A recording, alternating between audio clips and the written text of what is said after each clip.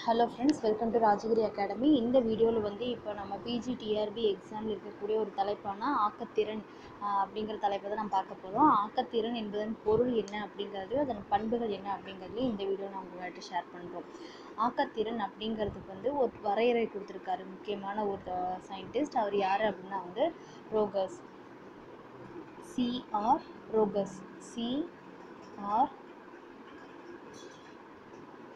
ரோகஸ் இவர் என்ன சொல்லியிருக்காரு அப்படின்னா அவரோட கூற்றுப்படி ஆக்கச் சிந்தனை என்பது ஒருவரது தனித்தன்மைக்கும் அவரது வாழ்வில் எதிர்படும் பொருட்கள் மனிதர்கள் நிகழ்வுகள் சூழ்நிலைகள் ஆகியவற்றிற்கும் இடை இடையே ஏற்படும் இடைவினையால் புதுமையான பொருட்களோ அல்லது தொடர்புகளோ விளைவதாகும். அப்படிங்கிற ஒரு டெஃபினேஷன் வந்து யார் தந்தாங்க அப்படின்னா வந்து ரோகஸ் ஃபஸ்ட்டு வந்து ஆக்கத்திறன் அப்படின்னாலே வந்துட்டு எல்லாத்துக்கிட்டேயுமே ஆக்கத்திறன் அப்படிங்கிறது ஒன்று இருக்கும். பட் வந்து கரெக்டான ஒரு கற்றல் கற்பித்தல் முறைகள்னால் மட்டும்தான் அதை வந்து நல்லா வந்து வளர செய்யவும் நம்ம வளர செய்யவும் முடியும் அப்படிங்கிறது தான் வந்து ஒரு பேசிக்கான கூற்று. ஃபஸ்ட்டு வந்து ஆக்கத்திறன் அப்படிங்கிறதுக்கான என்ன ஒரு பொருள் அப்படின்னா ஆக்கத்திறன் எனப்படுவது ஆக்க சிந்தனையுடன் தொடர்புடையது. பயனுள்ள முறையில் அந்த ஆக்கச் சிந்தனையை அமைவதற்கு உதவக்கூடிய பல்வேறு பண்புகள் ஆற்றல்கள் ஆகியவற்றின் தொகுப்பை நாம் ஆக்கத்திறன் என்று குறிப்பிடலாம் அப்படின்னு சொல்கிறாங்க ஓகேங்களா? ஃபஸ்ட்டு பேசிக்காக ஆக்கத்திறன் அப்படின்னா என்ன பொருள் அப்படிங்கிறது நீங்கள் தெரிஞ்சிருக்கணும். தென் வந்து முக்கியமான ஒரு டெஃபினேஷன் சிஆர் ரோஜர்ஸ்க்கு சொன்ன டெஃபினேஷன் வந்து நீங்கள் ஞாபகம் வச்சுருக்கணும். தென் நெக்ஸ்ட் ஒன் வந்துட்டு ஆக்கத்திறன் பண்புகள் என்னென்ன அப்படிங்கிறது பார்க்கலாம். முக்கியமான ஒரு எட்டு பண்புகள் இருக்குது ஃபஸ்ட் என்னது அப்படின்னா ஃபஸ்ட் ஒன் ஆக்கத்திறன் இறுதி விளைவு அதாவது வந்துட்டு அதை நம்ம செய்கிறோம் அப்படின்னா அதோட எண்டிங் ரிசல்ட் எப்படி இருக்கும் அப்படிங்கிறத வந்துட்டு நம்ம கண்கூட பார்க்கக்கூடியதாக அமையும் அப்படிங்கிறது.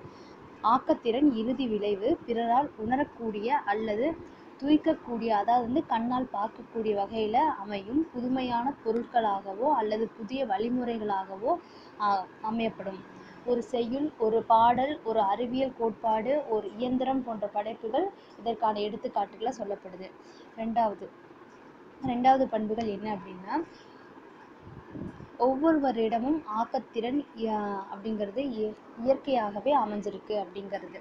ஆனால் அதில் இருக்க தன்மையை பொறுத்து தான் வந்துட்டு வேறுபடும். ஒருத்தருக்கு வந்து ஆக்கத்திறன் சிந்தனைகள் வந்து ரொம்ப அதிகமாக இருக்கும் ஒருத்தருக்கு வந்து கொஞ்சம் கம்மியாக இருக்கும். அதில் தான் வேறுபாடு இருக்குமே தவிர ஆக்கத்திறன் அப்படிங்கிறது எல்லாத்துக்கிட்டேயுமே இருக்கும்.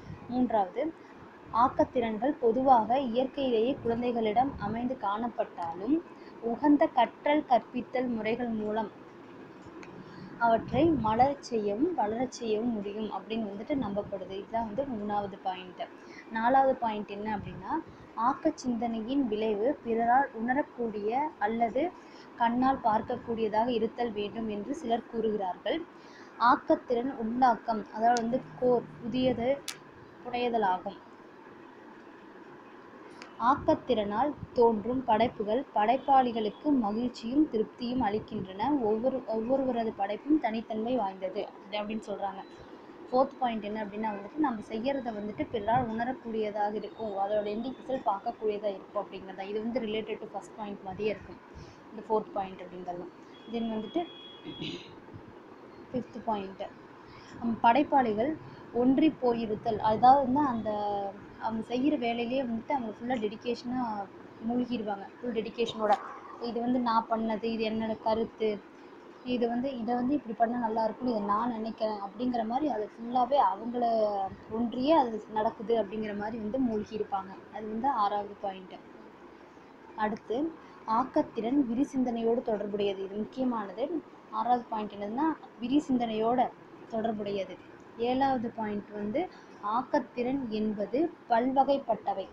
ஓகேங்களா அது எதாக வேணாலும் இருக்கலாம். அறிவியல் கண்டுபிடிப்புகளாக இருக்கலாம் கவிதை கவிதை எழுதுகிற திறனாக இருக்கலாம் சிற்பமாக செய்கிறதா இருக்கலாம் ஓவியம் வரைகிறதா இருக்கலாம் இசையில் இருக்கலாம் உடை வடிவமைப்பு இல்லை வந்து உணவு தயாரிக்கிறது எதாக வேணாலும் இருக்கலாம். பல்வகைப்பட்டது. ஆறாவது என்னன்னா விரிசிந்தனையோட தொடர்புடையது. ஏழாவது என்னது பாயிண்ட் அப்படின்னா வந்து ஆக்கத்திறன் என்பது பல்வகைப்பட்டவை. அது எந்த தொழிலோட சம்மந்தப்பட்டதாக கூட இருக்கலாம். எட்டாவது வந்து மிக முக்கியமான பாயிண்ட்டு எட்டாவது பாயிண்ட் வந்து ரொம்ப ரொம்ப இம்பார்ட்டன்ட் கில்பர்ட் என்பவர் கருத்துப்படி ஆக்கத்திறனின் முக்கிய பண்புகளாக சிலவற்றை வந்து அவர் சொல்லியிருக்கார். யார் அப்படின்னா கில்பர்ட். ஃபஸ்ட்டு வந்து இதுக்கு ரெண்டு பேரும் முக்கியமாக டெஃபினேஷன் கொடுத்துருப்பாங்க. ஒன்று வந்து சிஆர் ரோஜர்ஸ் இன்னொன்று வந்து கில்பர்ட். கில்பர்ட் என்ன சொல்கிறாரு அவரோட கருத்துப்படி அது எப்படி இருக்கணும் அப்படின்னு சொல்லி நினைக்கிறாரு அப்படின்னா வந்துட்டு விடாமுயற்சி இருக்கணும். ஒருத்தர் ஆக்கத்திறன்ற ஆக்கத்திறனில் வந்து முக்கியமான பண்புகள் அவர் என்ன சொல்கிறார் அப்படின்னா வந்துட்டு விடாமுயற்சி அப்படிங்கிறது அதில் இருக்கணும். அகக்காட்சி தகவல் அப்படின்னு ஒன்று இருக்கணும். அதாவது வந்து அதை எப்படி செய்ய போகிறோம் என்ன மாதிரி வரும் அப்படிங்கிற ஒரு அகக்காட்சி தகவல் இருக்கணும். புதிய தொடர்புகளை காண விளைதல். இதனால் வந்து ரிசல்ட் வந்து எந்த மாதிரி இருக்கும் அப்படிங்கிறது வந்து ஃபஸ்ட்டே வந்து ப்ரீ பிளான்டாக இருக்கணும். தனித்தன்மையாக இருக்கணும்.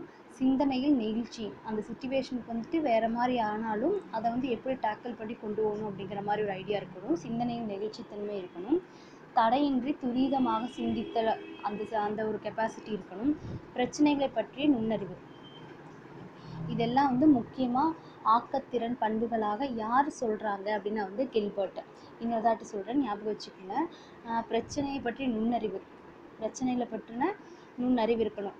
சென்சிட்டிவிட்டி ஓகே அடுத்தது வந்து தடையின்றி துரிதமாக சிந்தித்தல். எந்த பிரச்சனை இருந்தாலும் அதாவது தடையின்றி துரிதமாக சிந்திக்கணும் அப்படின்னு ஞாபகம் வச்சுக்கோங்க. ரெண்டு வந்து சிந்தனையில் வந்து நிகழ்ச்சி. சிந்தனையில் நிகழ்ச்சி. அதுக்கு அடுத்தது தனித்தன்மை. அதுக்கு அடுத்தது அகத்திய அகக்காட்சி தகவல். அதுக்கு அடுத்தது விடாமுதிர்ச்சி. லாஸ்ட்டில் வந்து புதிய தொடர்புகளை காண விளைதல் இதெல்லாம் முக்கியமான பண்புகளை யார் சொல்கிறாங்க அப்படின்னா வந்து கில்பர்ட். அடுத்த வீடியோவில் வந்து ஆக்க சிந்தனையின் படிநிலைகள் முக்கியமான ஒரு நான்கு படிநிலைகள் இருக்குது அது என்ன அப்படிங்கிறத அடுத்த வீடியோ உங்களோட நாங்கள் ஷேர் பண்ணுறோம் தேங்க்யூ